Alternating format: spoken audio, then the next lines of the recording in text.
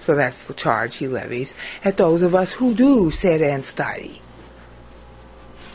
But it is a valid juridical issue. If you're sitting and studying Bible all the time and you're applying it in whatever comes up in your life, because you have to wait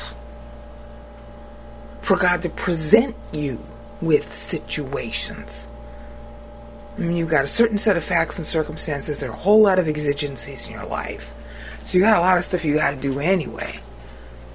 But you don't go looking for the good deeds. You have things you ought to do, and you use Bible to determine what those are. So God sends you all of your circumstances. Because it's training. That's your training ground. It's just like you're in the CIA and they put you through the paces. They do it to you. And you really are in the CIA. You're in the uh, what do you want to call it? The Church Intelligence Agency. You can come up with some better name. I'm not smart right now. But it is still a valid question. And you're going to have it on your mind all the time, and everybody's going to bring it up to you, too. Like one lady said to me, You could have spent all that time you spent on Bible. You could have gotten a PhD in chemistry or something and help the world. Why didn't you do that? So let's answer that question.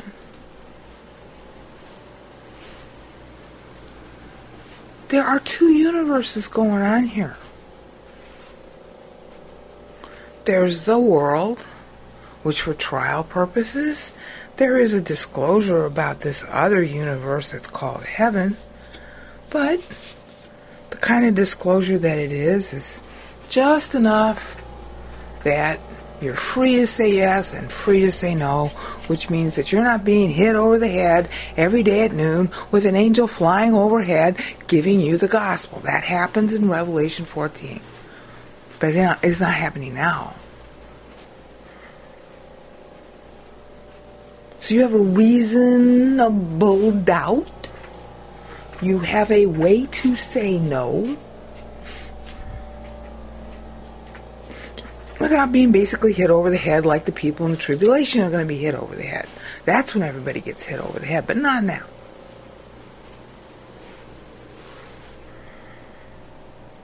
So that's one universe. And you're in it. This world. What are you doing for the world? Well, you can't be doing a whole heck of a lot if you're busy learning and living on Bible, because that's pretty solitary. Basically have to limit, I mean, in order to do this right, you got to limit your relationships.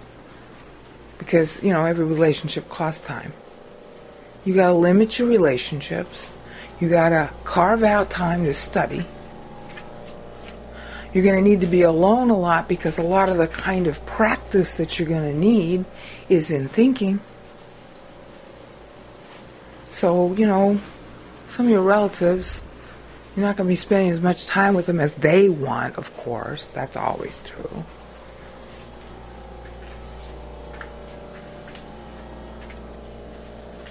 So,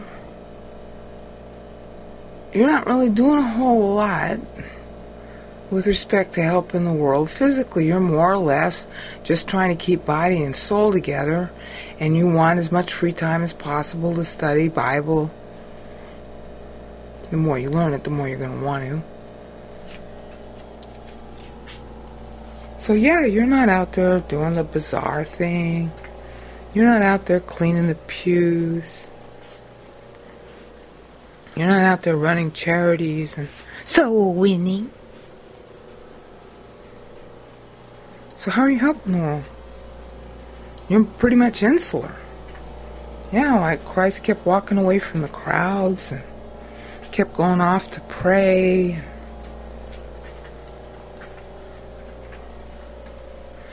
Kept talking nasty to people who baited him or didn't talk to him at all. Spent 30 years in complete obscurity, even after he was announced by some shepherds who saw him talk. The same day he was born. Then nothing. Big black spot. Till about 29 years later, John the Baptist starts wandering around the Jordan, telling everybody Christ is going to come. About a year after that, he actually goes into the Jordan and is baptized by John. Of course, immediately or soon after that, John's put in prison by Herod. Three years dusty little country. He just walks and talks. And he's gone. Hmm. What'd he do for the world? Well, nothing that you could see. That was Satan's big argument in Matthew 4.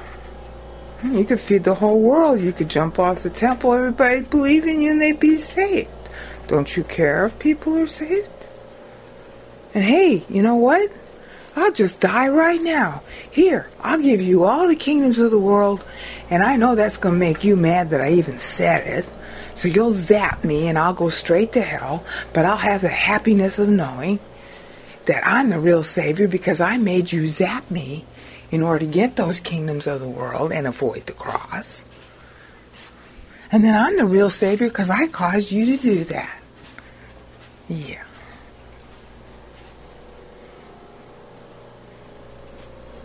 So he didn't do a whole lot, did he? Not that anybody could see. And that is the point. Whose good deeds should they be? Number one, whose good deeds? God's or yours? Second question, who should the good deeds be for? who should get the good deeds. Now, you got two objects. Who should you be doing good deeds for? First of all, who should be doing the good deeds? Because it's a big question like, how good is it if it's you doing it versus God doing it? That's been the focus of these audios. Okay, but now we're going to flip the question around a little bit. Who, for whom should you be doing good deeds? who should be the object? And you can, you know, typical answer, and it's intuitive. Well, for my family, my clients, the people I owe money to, I should do good stuff for them. Yeah. Isn't there anybody else? How about God? Oh, well, yeah, of course. Everybody's going to say, well, of course for God. If I do these good deeds for people, I'm doing it for God. Really? Does God need um, peanut butter? Did he need you to give money to charity? Is whatever you did for your spouse or your employer or the neighbor next door who ran out of cup of ran out of sugar? Did God need you to do any of that? And then you'll say, well, but but but Christ said, in, when you do this for the least of any of these humans, you're doing it for me. Yeah.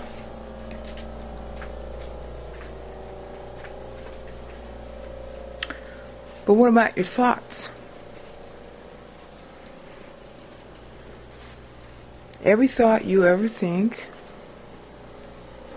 is right in front of God all the time.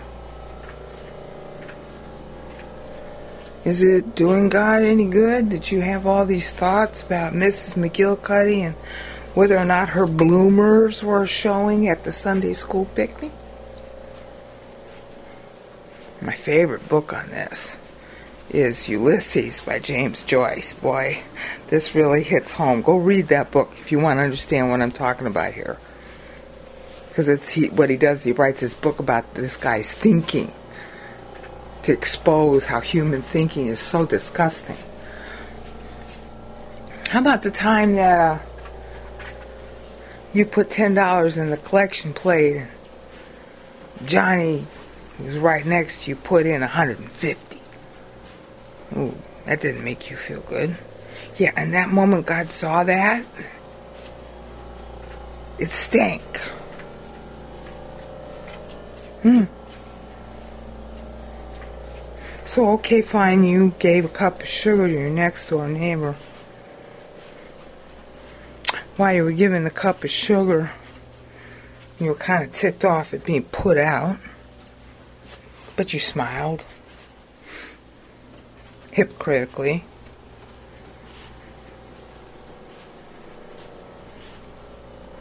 God's going to know every thought in your head and every thought in our heads, like that book by James Ulysses, James Joyce, Ulysses. Oh, what a book that is. Our thoughts are petty.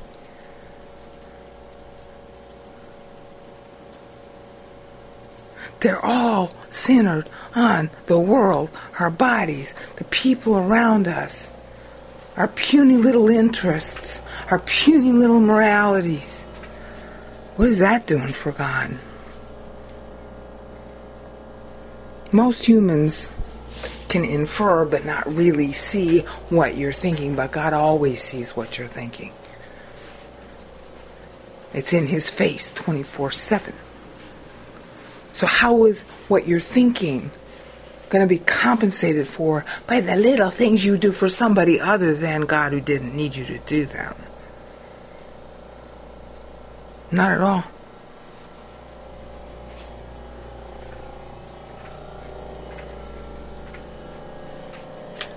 So, if you're supposed to be doing good deeds, of course, the first question is how good is it if it's you doing it rather than God doing it?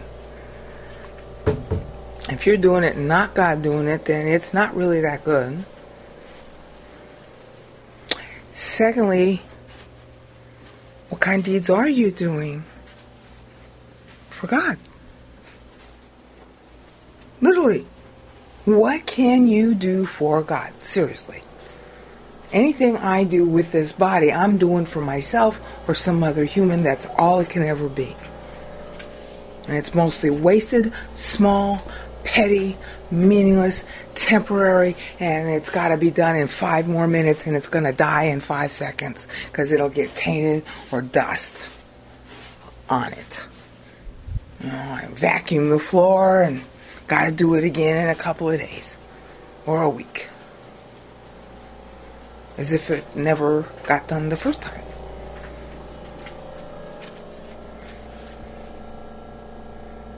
Meanwhile, I got all these thoughts in my head that are based on my own thinking.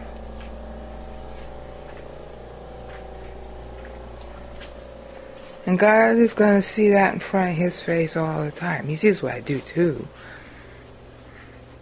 But the thinking is going to live forever because I do.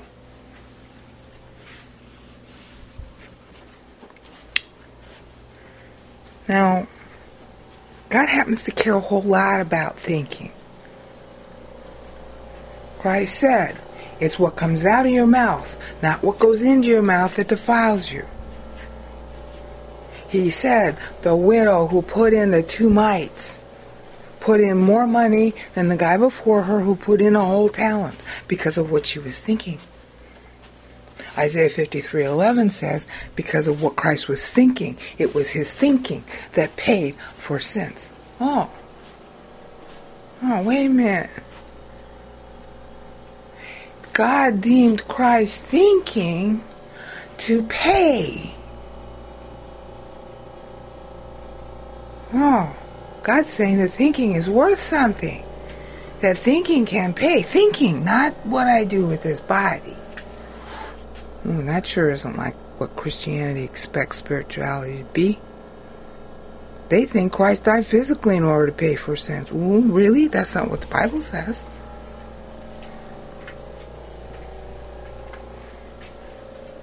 Well, then, thinking is worth a whole lot to God if it was what God said paid for sins. And whose thinking was that? Christ's. Okay, so if Christ's own thinking paid for sins to God, then there is something you can do for God. Have Christ thinking. Oh, yeah, because if it paid for sins, then it was really pleasing to God, pleasing enough for Him to allow me to be born in the first place and sin in the second place. Okay, well, then if He puts His thinking in me, well, that's going to please Him, isn't it? So I can do something for God. Yeah, He says so, see Hebrews 11 6. Apart from faith, it is impossible to please Him. Now, faith means pistis. I've gone over this before. It means doctrine in your head that you believe. So it means it's got to get into your head and you got to believe it. And of course, when it's in your head and you believe it, that means it's still working, it's operating. So instead of all those petty thoughts like James Joyce records in the book Ulysses, God starts hearing all these doctrine thoughts. Now, the first time he taught me this importance, I was pacing like I am now, only I was in a living room, and the thought that he used to get it through to me, I'm going to say to you, because maybe he'll do it again to you. Matthew 4 4, always occurring. That was the exact thought he sent me when I was pondering this. You know, what was it, 11 years ago? Matthew 4 4, always occurring. I have not been the same person since I learned that. Now think about what that means. What does Matthew 4 4 say? You live and learn on every word that proceeds from the mouth of God. What's that? The Bible.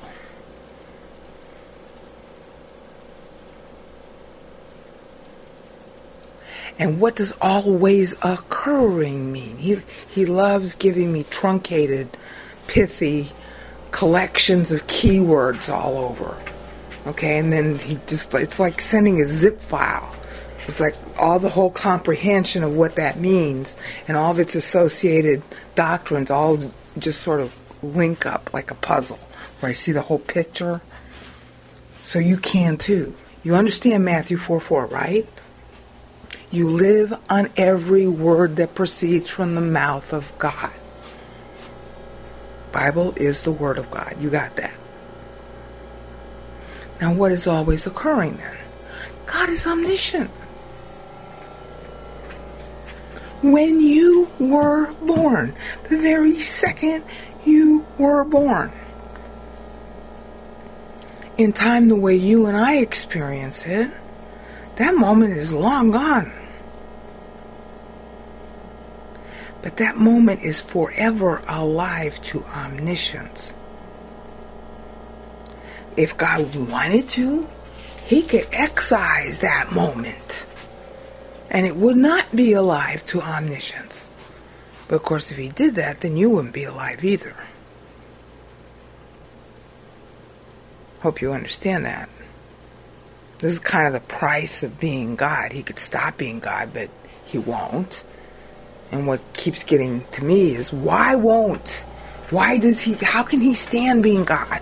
I just that that I just don't get it. How can he enjoy being God? Because that moment that you were born is in his omniscience, it is still happening. It is a live moment. It never stops. It's like Groundhog Day. Except it's not recurring, it just doesn't end. It's just there. Like I've said before, it's like dots on a Georges Seurat painting. When you get close to like his picture, a, sun, a Sunday in the park, I think Sunday morning, Sunday afternoon in the park. Okay, if you stood up real close to that painting, you'd see that he painted it. He just kept hitting the canvas with little dots, kind of like acupuncture, except he didn't puncture. He he used he actually kept hitting the canvas with dots. And I, I don't know. He should have gotten carpal tunnel or something from making that one painting.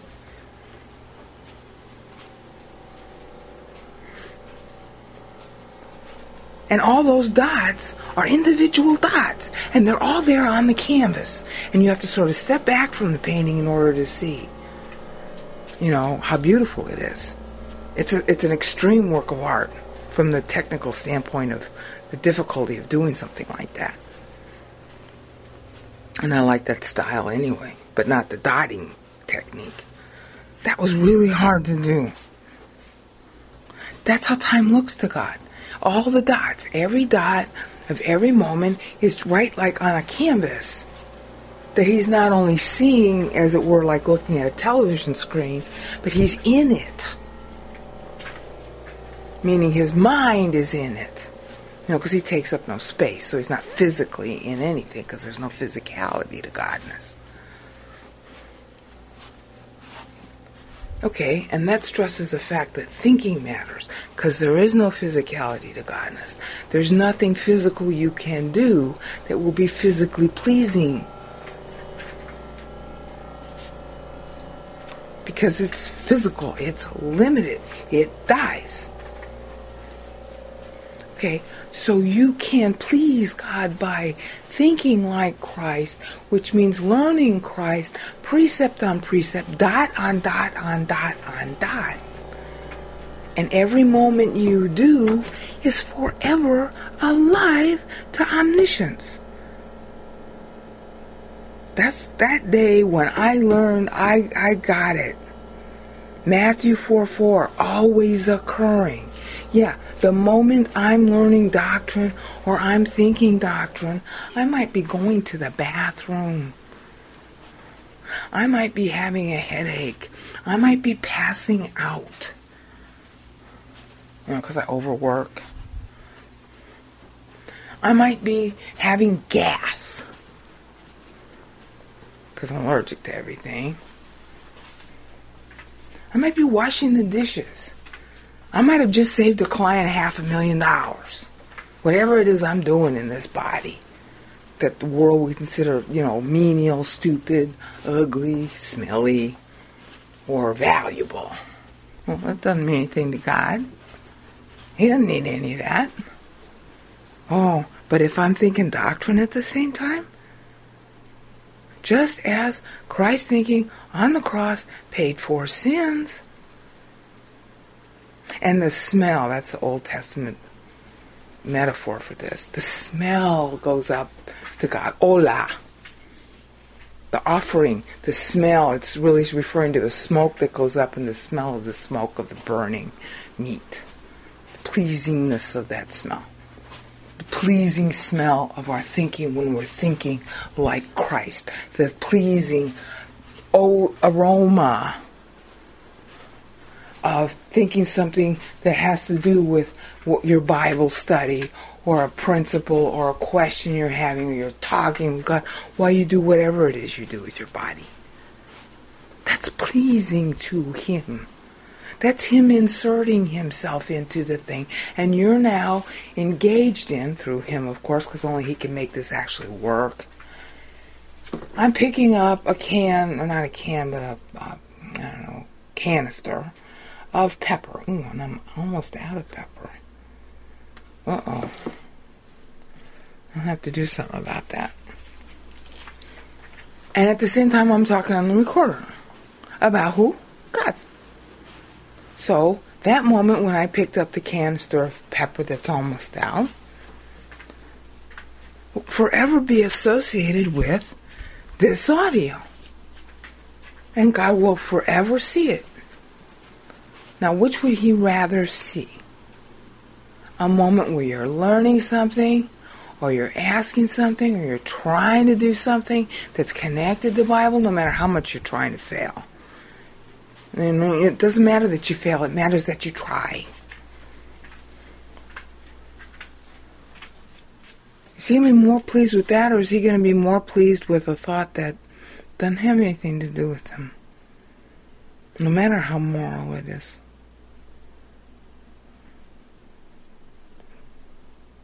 Would you be more pleased with a thought that's consonant with your own values?